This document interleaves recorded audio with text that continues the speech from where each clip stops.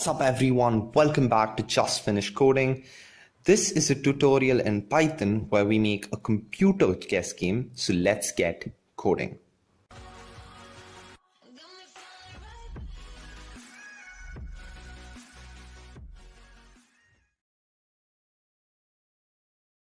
Just finished coding.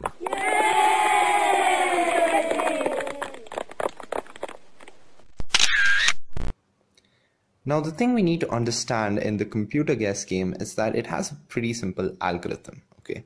So the answer is actually going to be always contained within a certain range. Okay. And that range is going to be within two values, a minimum value and a maximum value. So the guess the computer is always going to try is going to be the mean of those two values. Okay. It's very, very simple. All right. So here's what we need to do. So initially, we don't need to import any module for this. I'm doing this code in an online editor, by the way, and um, you could use any other editor you want. Just make sure you know how to do some basic um, steps like running the program, etc. Okay. We're going to print welcome to computer guess game. I'm just going to say computer guess.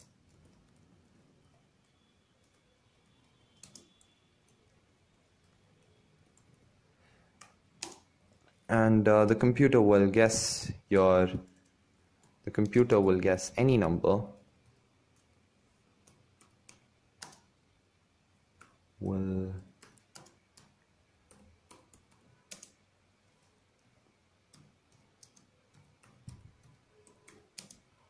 between I'm just going to say b slash w 1 and 100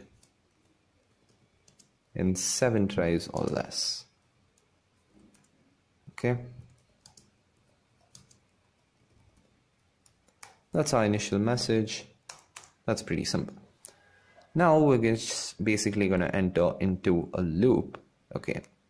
But before that we're going to set min okay? But that's actually a keyword so I'm just going to say mi um, n i m u m. That's a long name I know Okay, so I'm just going to set it to mi and I'm going to set max to mx. Okay, that's a lot simpler. So minimum is equals to 1 and max, okay, mx is equals to 100 initially. All right. Next, here's our main loop. Okay, so for i in range 1 comma 7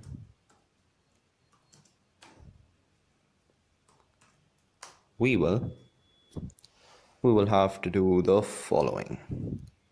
Set guess to be equals to min plus max divided by 2 which is going to be int of min plus max by 2 okay because guess is an int we do not want a, a double value like 51 0.5 or 50.5 in this case. So mi plus mx plus mx.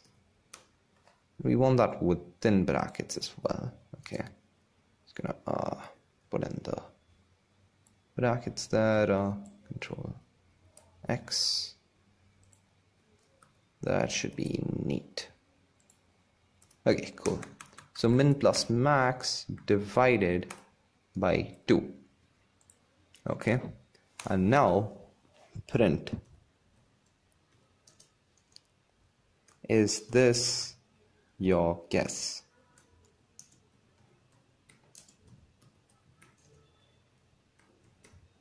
So now we obviously can't guess it in seven tries if the user gives it um gives us no clue on whether the guess is too high or too low.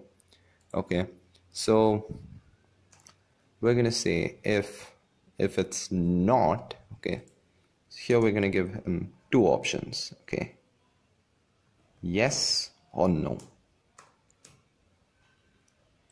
So if actually I'm going to say a is equals to input and if oops if a is equals equals to string y, then we'll simply say this variable t is equals to 1 which we'll be setting as 0 right here okay? And we're going to break out of the for loop okay?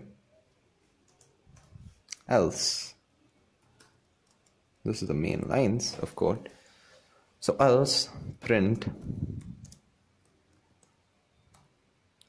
is the guess too high or too low?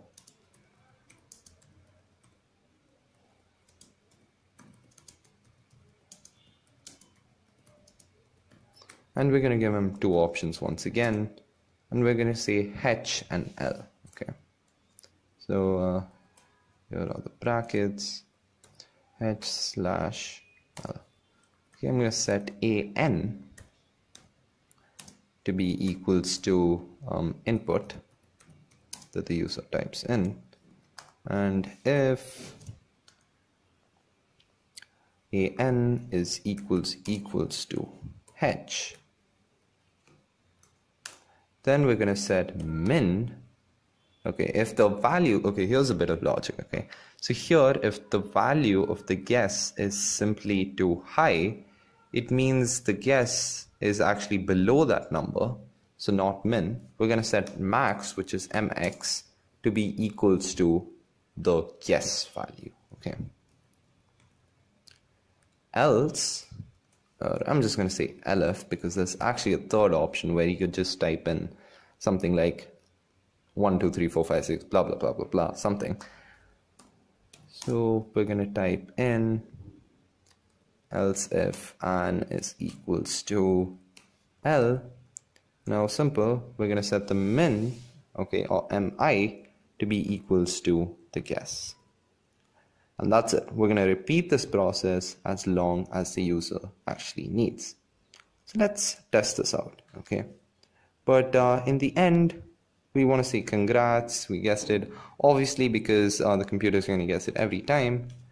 But um, we'd also want to just say if t is equals equals 1, then say yeah, I win, okay?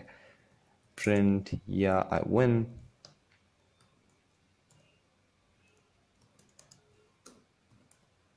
else we're gonna print you are a cheat okay else you are a cheat print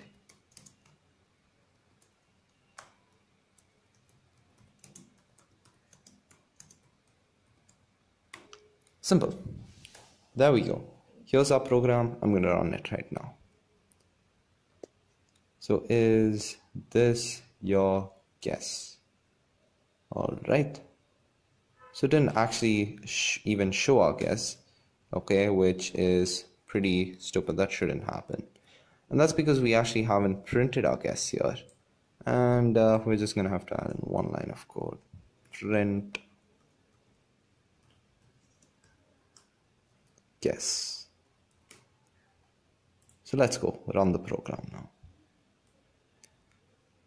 is this your guess 50 uh, I'll just print this after this. I mean, this would just look so much better.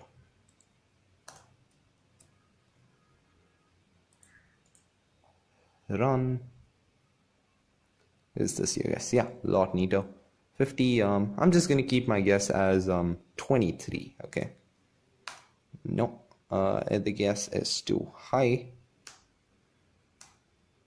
Is this your guess? Nope, guess is too high. Is this your guess? Nope, guess is too low. Is this okay? Yeah, clearly here we can already see uh, some kind of thing, but uh, this shouldn't actually be an error because we have an else here. Okay, but we'll fix that as well. So is this your guess? Nope, too high. And uh, it should again your guess is too low And is this your guess? 17. I'm just to say no. I'm not to say yes. Is the guess too high or low? I'm just to say low randomly. you are a cheat. All right, nice. This thing worked perfectly. So the small thing we need to do here is change the else to an elif. Okay. a is equals equals to n, string n I mean. Alright, and uh, that should be it. Now for the main block of code, okay. Hmm, we are this thing, this entire thing goes in there. Alright, here we are going to be saying we're going to have an else. So else say you did not enter a valid option okay? You did not enter a valid option.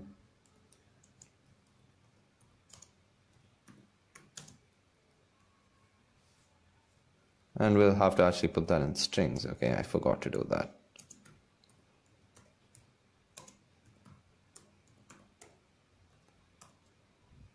oops. The editor actually put in strings there. Okay so going all the way. Oh boy. Yeah there we are.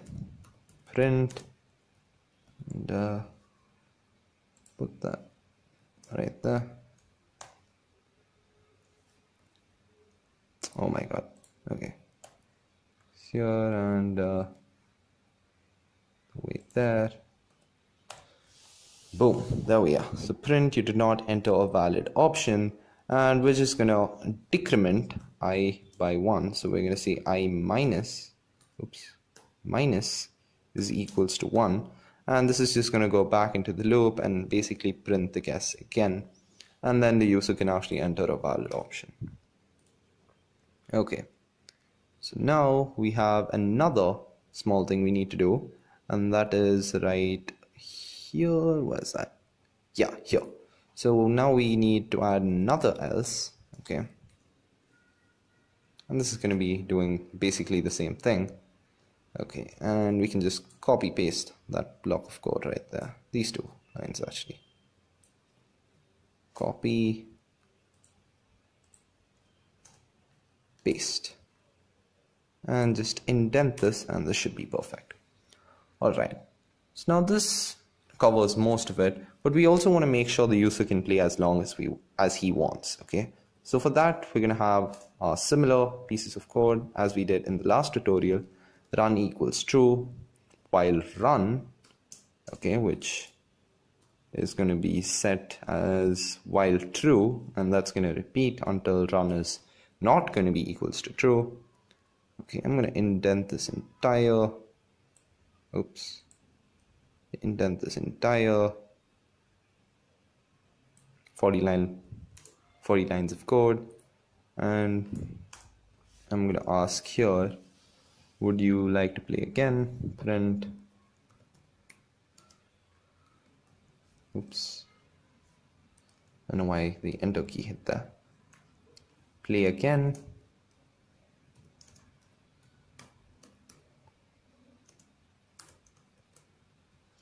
I'm going to give an option of y slash n. Oops. Okay and if the user does not do any of that default is equals to n. Okay. So now I'm going to set a and s to be equals to the input. And if ans is not equals equals to y then basically we're going to set run to be equals to false. That's it. That is our final code now let's test this. So is this your guess? Let's take our guess as 1 okay? Is this your guess? Nope it's too low I'm gonna type in something else. Oops I actually typed in high oh boy. Okay run this again. Uh, is this your guess nope. You did not enter a valid option. Is this your guess? Nope. Is the guess too high or low? It is too high. My number is going to be 1 okay? So is this your guess? Uh no you did not enter one. Great. So is this your guess? 25? No. Is this... Okay, I'm just going to breeze through, okay? uh, is the guess too high or too low it's too high uh, is this your guess nope it's too high is this your guess nope it's too high you are a cheat all right so now what we can see is although we decremented i by 1 it actually did not go through that okay so what we need to do in order to make sure that this does not happen is we're going to be saying uh, basically going to exit this loop itself okay when you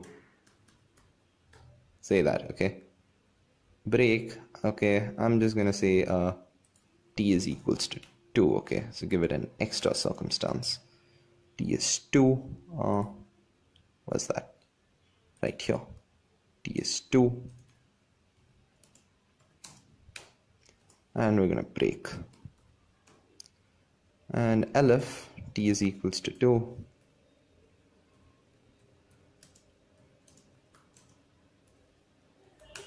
print.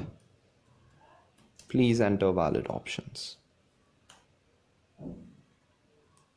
Please enter valid options next time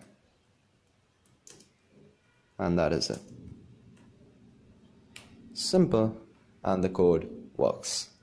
So that's it for this tutorial guys. Make sure you hit the subscribe button and hit the notification bell to make sure you stay notified about all our upcoming videos. The next video, an infinite prime generator is going to be releasing tomorrow. So make sure you check that out and you can do that once again. Let me say this, hit the notification bell. Alright, thank you for watching everyone. I'll see you tomorrow. Bye bye.